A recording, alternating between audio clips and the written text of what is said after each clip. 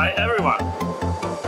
So EVs are considered particularly bad for long travels, especially on autobahns, right? Uh, what about the real life test? 650 kilometers between Berlin and Amsterdam in Tesla Model 3 long range in April. And my car is already outdated and probably has a slightly degraded battery. My name is Volodymyr. I'm from Ukraine and I study EVs for everyday use in real life. None of my videos are staged or sponsored. This is purely my hobby. Please like, subscribe and share. Now let's find out. Okay, so it's day two of our trip. We departed uh, Berlin at 10:41 a.m. Uh, with 99% of the battery. Uh, we've been parked for the night uh, in underground parking of the hotel. Parking is paid, but the charger is free of charge. So we charged full, and now we we can travel like 300 kilometers on the autobahn till the next charger. So now uh, the car predicts we arrive to the Lauenau supercharger with 21% and this charger is located uh, like more than 300 kilometers from the hotel. So the real range of a Tesla when we drive in according according to the speed limit, and we have more German autobahns. So you know some parts are limited. Most of the parts are limited. So the real range is like 300 kilometers. So everything is good. Our next stop, uh, next stop is Lauenau Supercharger, and the destination for today is Amsterdam. So yeah, see you.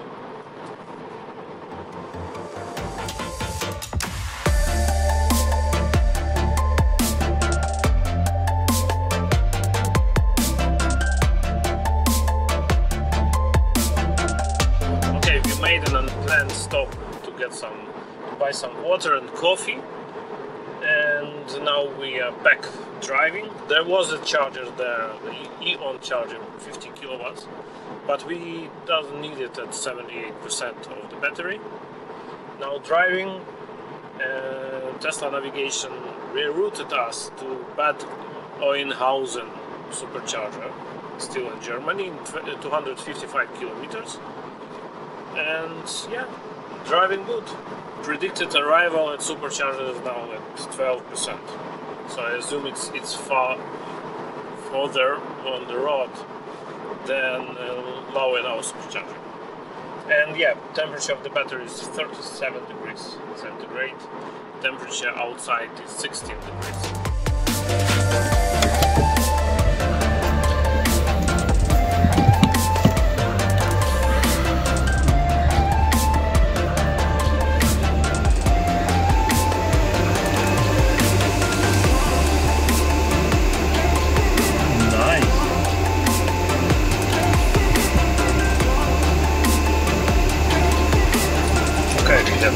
Just complete the charging. So it was V3 supercharger in, and it was projected we need just 35 minutes. And yeah we have some food. So everything is good. Now we predict to arrive to the next supercharger. Okay not supercharger. We will go without stops to our destination. Oh my only one charging stop was needed. So we will go non-stop now to the hotel. Or maybe we will do some stop, just because we will need as humans, not, not for the car. Okay? So we need to travel 292 kilometers and we need to this requires three hours for us okay everything good now the battery is hot. We have like 55 degrees. We had 56 and now we have active cooling. And we have 20 degrees centigrade good sunny weather. So now the active cooling and heat pump will have to purge this heat excessive heat to the environment. And that's it. So see you later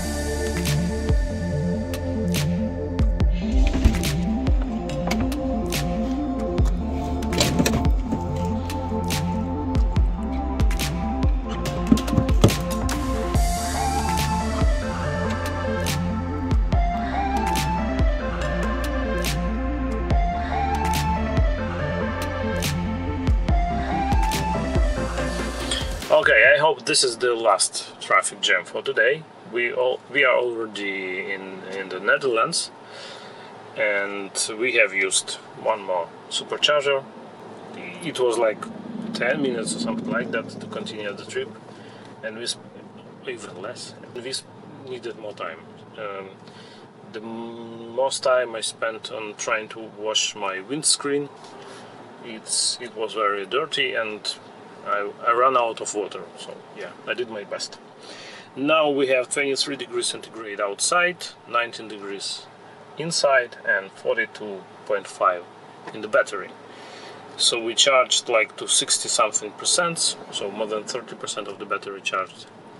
At supercharger version 2, it uh, was stopped at 147 kilowatts, so that was a true 150 kilowatts charger, and was plenty. There were plenty of empty stalls, so no problem. At this moment, Tesla predicts arrival with 47% of the battery. We still need to drive 59 kilometers, and it may take us like up to one hour. Wish us good luck. Bye.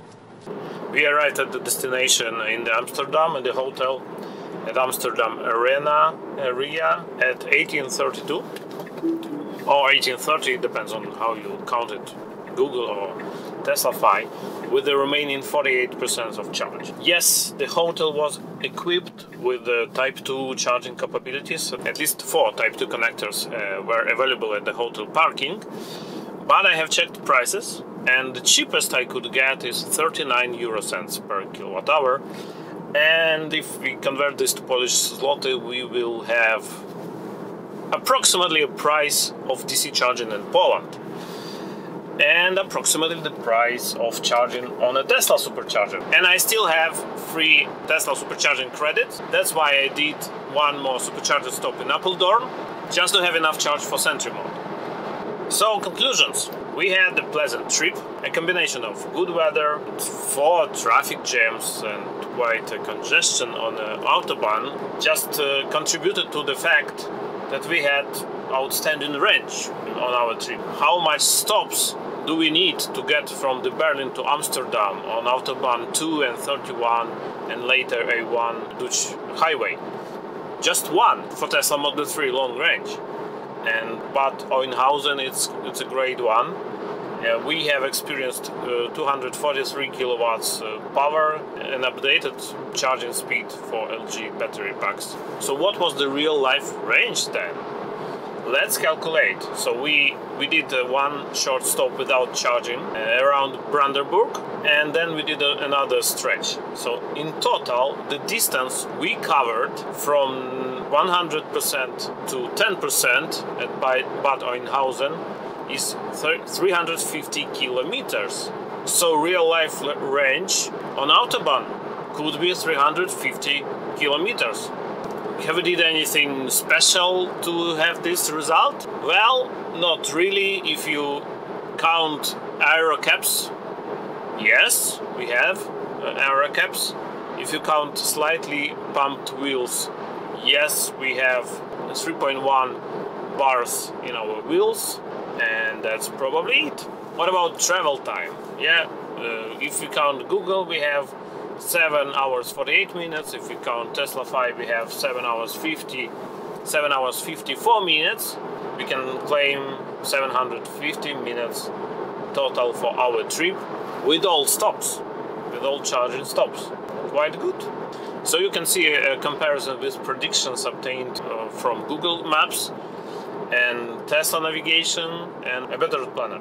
Yeah, travel time was good. Never had a complaint from my wife about long time of our trip. That was all comfortable. We needed more stops than a car. I think it's good. Now the cost of the trip. So the real cost of this trip for electricity for me was zero, zero. Because I have Tesla credits for supercharging and because the charging in the hotel Berlin Econtel was also free. So what can I say? EV is already good enough for everyday trips, including autobahns around Europe. Yes, they are, especially Tesla. or when you use the Tesla supercharging network in non-Tesla car. Are is about ecology now?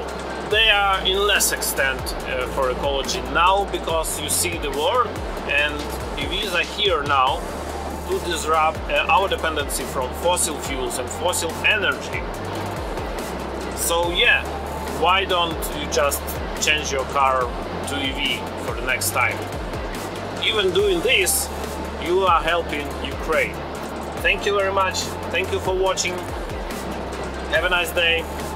Bye.